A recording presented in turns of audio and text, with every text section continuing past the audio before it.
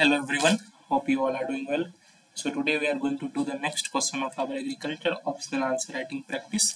जो हमारे agriculture optional answer writing practice series चल रही है उसके नेक्स्ट क्वेश्चन को आज हम लोग करने वाले हैं. And today's question is what do you mean by gene pool gene pool क्या होता है? जेनेटिक इरोजन क्या होता है? और क्लासिफाई करना है हमें gene pool that is types of gene pool क्या होते हैं?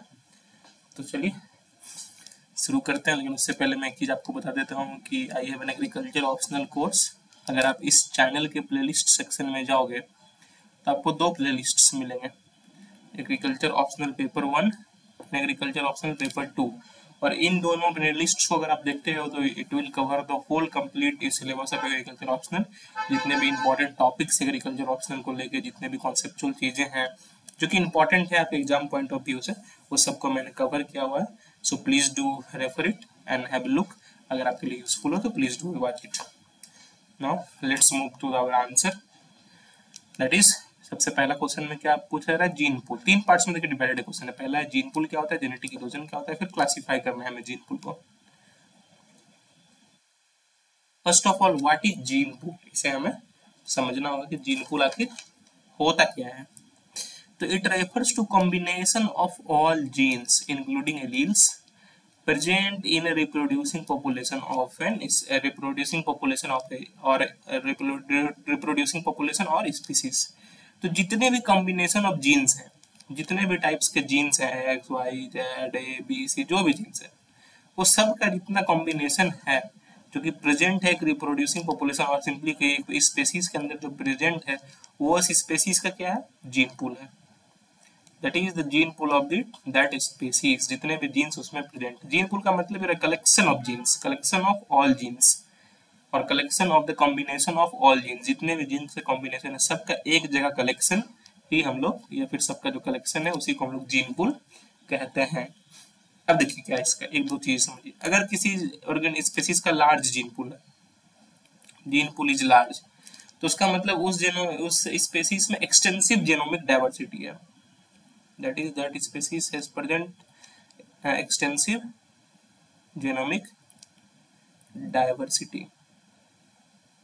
अगर कोई एक स्पेसीज है जिसमें कि काफ़ी ज़्यादा जीन पूल काफ़ी ज़्यादा जीन्स है कॉम्बिनेशन में आपको मान के दो स्पेसीज एक में कॉम्बिनेशन ऑफ़ जीन्स हंड्रेड है और एक स्पेसीज में कॉम्बिनेशन ऑफ़ जीन्स टेन है। तो ऑब्वियसली जिस स्पेसीज में कॉम्बिनेशन ऑफ़ जीन्स हंड्रेड होंगे वो ज़्यादा डाइवर्स स्पेसीज है। और अगर जीन पूल लो हुई किसी अगर मान के चलो किसी में combination of genes as comparison to 100 कम ही है तो मतलब वो लेस डाइवर्स है। That is it is less diverse that species is less diverse तो यहाँ से आप समझ गए जीन पूल क्या होता है। और देखिए एक चीज़ और आप इसमें समझिए कि जितना जैसे कि इस जीन पूल का ये एक्सटेंसिव जीन पूल है, ठीक है? तो जितने भी एक्सटेंसिव जीन पूल होते हैं हाई जीन पूल होता है जिसमें, ठीक है? जिसमें एक्सटेंसिव डाइवर्सिटी आपको देखने को मिलता है। They are better able to withstand environmental changes they are better able to withstand environmental changes तो जिस जीन पूल में जो भी अधिक जिस स्पेसिस में जो कॉम्बिनेशन ऑफ़ जीन्स होंगे वो अधिक होंगे उसमें डाइवर्सिटी अधिक होगी और ऑब्वियसली जो डाइवर्स स्पेसीज होगी, वो इन्वायरमेंटल चेंजेस में अच्छे से स्टैंड करेगी, अच्छे से अडॉप्ट कर पाएगी बेटर अडॉप्टेबल जीन वो होगी। और जिसकी जीन पूल कम है that will be less adaptable compare to the higher gene pools तो ये समझ गए अब जीन पूल क्या होता है जीन पूल के कॉन्सेप्ट को समझ गए। अब एक सेकेंड पार्ट आप समझते हैं जेनेटिक इरोजन क्या होता है, ठीक है? वट इज़ जेनेटिक इरोजन तो जेनेटिक इरोजन क्या हो रहा है? जेनेटिक जैसे सॉइल इरोजन मतलब कि सॉइल लॉस हो रहा है। इसमें जेनेटिक इरोजन में क्या हो रहा है? सिर्फ़ जीन का लॉस हो रहा है। ठीक है? हियर स्पेसीज फेसेज ग्रेजुअल और ड्रास्टिक डिमिनिशिंग और complete loss of its unique gene ठीक है? या तो वो कम, उसकी जो ड्रास्टिक डिमिनिश हो रहा है मतलब कम हो रहा है उस जीन का नंबर या फिर कंप्लीट लॉस हो जा रहा है उस यूनिक जीन का। इरोजन का मतलब जो सॉइल इरोजन में क्या होता है? लॉस ऑफ़ फर्टाइल सॉइल उसी तरह जेनेटिक इरोजन में क्या होता है? लॉस ऑफ़ यूनिक जीन समझ गया? तो ये होता है जेनेटिक इरोजन अब देखिए क्या होता है कि जिस कि जिस स्पीसीज में लिमिटेड जीन पूल है that species is more prone to erosion जिस स्पेसीज की जीन पुल लिमिटेड है जीन पुल कम है, उसमें अधिक चांसेस है कि जेनेटिक इरोजन होगा, क्योंकि सो किसी में सौ कॉम्बिनेशन ऑफ़ जीन्स है, किसी में दस कॉम्बिनेशन ऑफ़ जीन्स है। तो बेसिकली अगर लॉस दोनों होना स्टार्ट होता है तो इसका भी दस लॉस होता है तो नब्बे पी आएगा, लेकिन इसका दस लॉस होता है तो खत्म हो जाएगा, इसकी जेनेटिक इरोड हो जाएगी। इसीलिए जो भी लिमिटेड जीन पुल वाली स्पेसीज है, उसमें इरोजन के सबसे अधिक चांसेस है। और जिस जीन जिस स्पेसीज के जीन पुल अधिक है, इसमें अधिक कॉम्बिनेशन ऑफ़ जीन्स है, जो डाइवर्स स्पेसीज है, उसमें कम चांसेस इरोजन होंगे। होगी इरोजन ऐसा नहीं कि इरोजन नहीं होगी, पर कंप्लीट इरोजन नहीं होगा। वहीं जिसमें लिमिटेड जीन पूल है, उसमें अधिक चांसेस होंगे कंप्लीट इरोजन हो जाएगा। So this is what genetic erosion is I hope आपको जेनेटिक इरोजन का कॉन्सेप्ट समझ में आ गया होगा। अब बढ़ते हैं third part of question that is types of gene pool तो जीन पूल्स देखिए तीन टाइप के होते हैं। पहला प्राइमरी जीन पूल दूसरा सेकेंडरी जीन पूल और तीसरा टर्सियरी जीन पूल तो सबसे पहले हम देखते हैं primary gene pool primary gene pool तो प्राइमरी जीन पूल में क्या होता है कि मान के चलिए कि कोई एक स्पीसीज है, ठीक है? अगर आप कोई एक जीन पूल है, ठीक है, उसमें अगर आप इंटरमेट कराते हो इंटरमेटिंग कराते हो तो इंटरमेटिंग आपको इजी है इजीली इंटरमेट कर जाती है वो। और जो हाइब्रिड से प्रोड्यूस करती है दैट इज़ फर्टाइल इंटरमेटिंग के बाद क्या प्रोड्यूस करती है? Fertile hybrids and here intermating is easy और इसमें it includes plant of same species और closely related species closely related species या तो प्लांट जो है वो सेम स्पेसिस के हैं, या क्लोजली रिलेटेड भी अच्छे से इंटरमेट करते हैं और क्या करते हैं? फर्टाइल हैबिट्स जनरेट करते हैं। तो इसमें जो इंपॉर्टेंट कॉन्सेप्ट आपको ये समझना होता है कि प्राइमरी जीन पूल वो जीन पूल है जो कि इंटरमेट होने के बाद अगर कोई स्पीसीज इंटरमेट कर रहा है मतलब मेटिंग हो रही किसी स्पेसिस की उसकी जो जीन पूल है, वो भी तो मेट हो रही है ना? जीन पूल जीन ही तो मिलते हैं जाके जो कि बाद में आपको हाइब्रिड्स बनाते हैं। तो जीन जो मिल रही है, जो हाइब्रिड बना रही है दैट इज़ फर्टाइल बना रही है। फर्टाइल हाइब्रिड्स बना रही है। और सेकेंडरी जीन पूल का मतलब क्या हुआ है? कि जब आप कोई एक जीन पुल है, ठीक है? कोई एक जीन पुल है, अगर आप उसको प्राइमरी जीन पुल से इनमेट कराओगे प्राइमरी जीन पुल से मेट कराओगे तो वो क्या देगी? कैसी हैबिट्स देगी partially fertile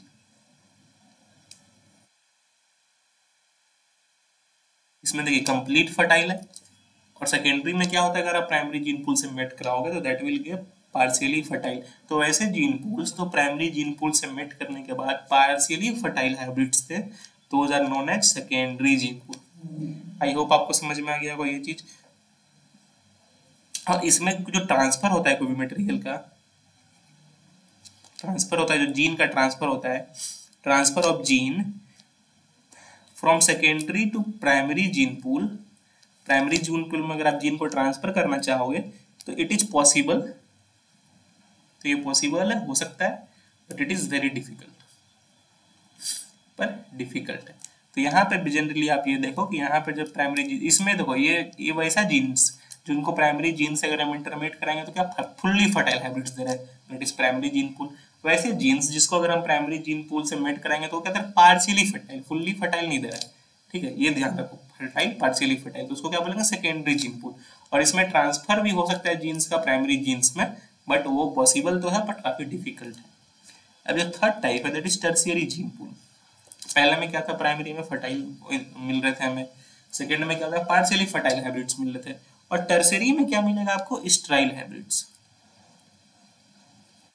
that is tertiary gene pool से आप क्या समझे? वैसे जीन्स या वैसे जीन पूल इसको अगर हम प्राइमरी जीन पूल से इंटरमेट कराएँगे जीन पूल वन भी बोला जाता है प्राइमरी को, ठीक? एक ध्यान रखो, इसको जीन पूल वन इसको जीन पूल टू और इसको जीन पूल थ्री बोला जाता है।